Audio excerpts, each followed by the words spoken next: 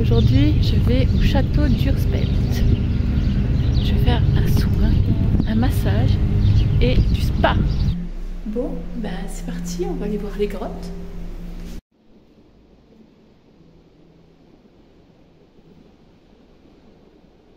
I guess you're back. Are you gonna tell me where you went? All the messages I sent with no reply.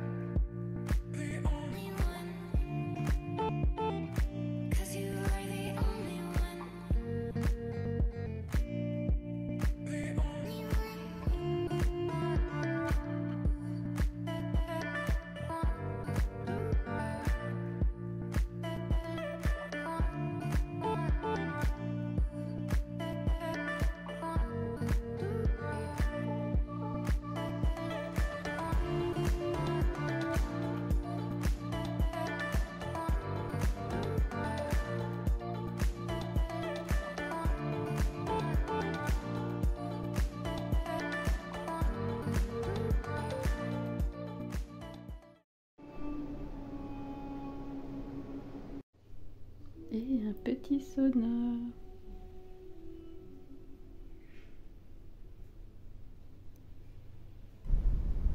Et un hammam.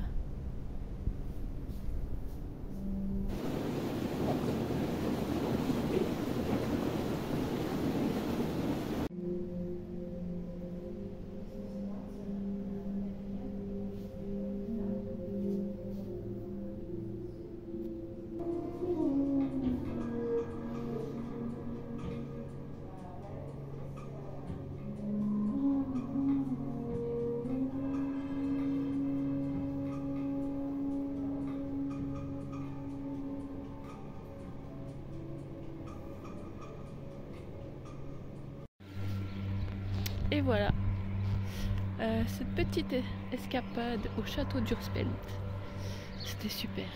Si vous voulez passer une petite après-midi massage spa, c'est top.